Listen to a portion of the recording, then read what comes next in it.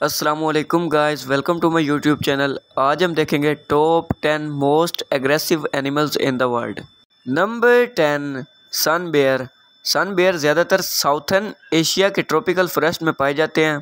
ये bear family के छोटे मेंबर समझे जाते हैं।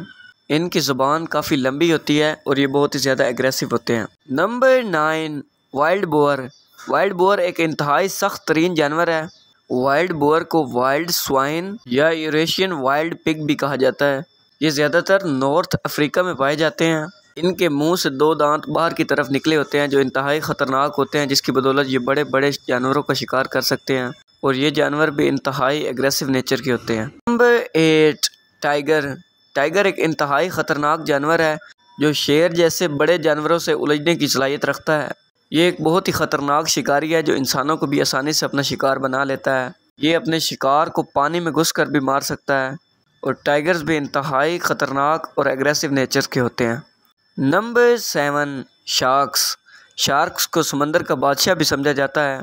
ये एक इंतहाई ख़तरनाक शिकारी है जो अपने से बड़े बड़े जानवरों और मछलियों का शिकार आसानी से कर लेती है।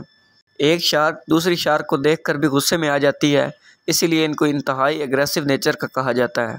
Number six the great white shark sharks को समंदर का बादशाह भी कहा जाता है, और द ग्रेट वाइट शार्क मौजूदा शार्क में सबसे बड़ी है, और ये अपने बड़े कद की वजह से बहुत ही ख़तरनाक और एग्रेसिव नेचर की समझी जाती है, जो अपने से बड़े बड़े जानवरों का शिकार आसानी से कर लेती है, और इसने कई बार समुद्री शिप्स पर भी हमला किया है। नंबर फाइव लायन शेर को जंगल का बादशाह भी कहा जाता है, जिसने अपनी ख़तरनाक और एग्रेसिव नेचर की वजह से पूरे जंगल में अपना खौफ बिखेरा हुआ है।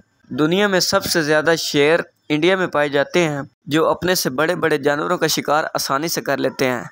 इसी वजह से इनको एग्रेसिव नेचर का समझा जाता है। नंबर फोर हिपोपोटेमस हिपोपोटेमस को दरियाई घोड़ा भी कहा जाता है, जो एक मैमल है। ये बहुत ही एग्रेसिव नेचर के होते हैं, जिसकी वजह से शेर जैसे बड़े जानवर भी इसका शिकार करने से डरते हैं।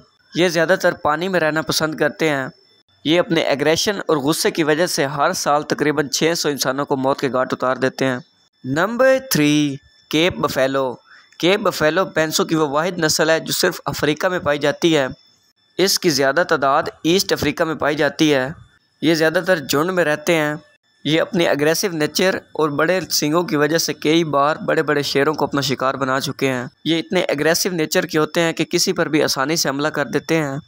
केप बफेलो को भैंसों की सबसे ख़तरनाक नस्ल समझा जाता है। Number two salt water crocodile salt water crocodile अब तक के मौजूदा क्रोकोडाइल में सबसे बड़ा है, जिसकी हाइट तकरीबन तेईस फीट है। ये अपने बड़े कद की वजह से बड़े बड़े जानवरों का शिकार आसानी से कर लेता है। इसके जबड़े इंतहाई मज़बूत होते हैं कि अगर एक बार किसी को जकड़ लें तो फिर उनका छूटना तकरीबन नामुमकिन हो जाता है और ये भी बहुत ही ज़्यादा एग्रेसिव नेचर के होते हैं। Number one black mamba black mamba दुनिया का तेज़ तरीन सांप है, जो कि पलक झपकते ही इंसानों की आँखों से गायब हो जाता है।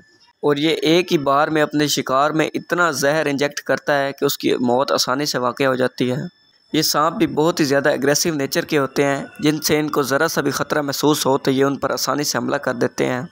ये वीडियो आपको कैसी लगी हमें कमेंट सेक्शन में ज़रूर बताइएगा। और इस तरह की मज़ीद वीडियोज़ देखने के लिए हमारे चैनल को सब्सक्राइब करें और बेल आइकन को ज़रूर दबाएँ।